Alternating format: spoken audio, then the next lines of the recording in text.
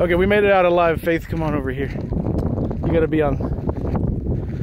Okay, here's we made it out of here alive. Uh, fuck. Okay, my heart's still pumping here. That was just terrifying.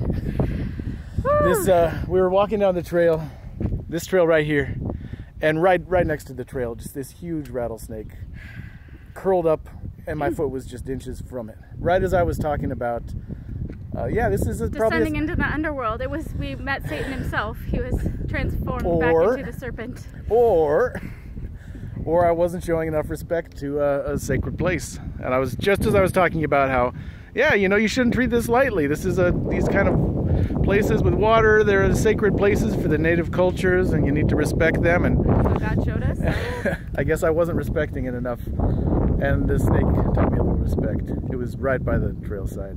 So we asked the snakes for permission to get out of there alive and got through uh, with walking sticks, you know, thumping the ground to make vibrations. Uh, so thank you to this place for letting us visit. Peace be upon all this place, and uh, we're gonna go go back into the city.